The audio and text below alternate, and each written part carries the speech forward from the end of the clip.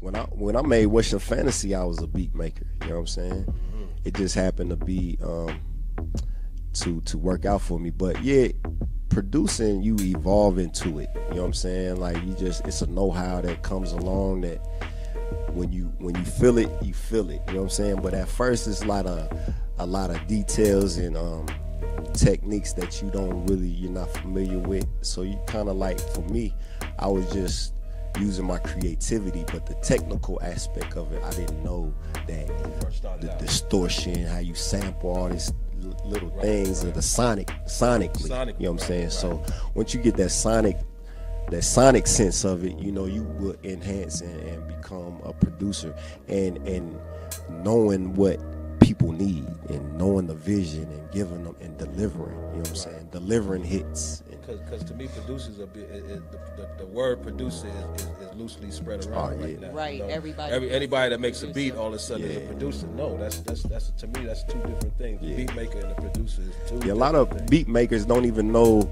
what kind of beats they have. You know, you go and play beats for people. You might play beats that you like. You might play to wasting his time ten joints that you feel it because mm-hmm. you're not a producer yet.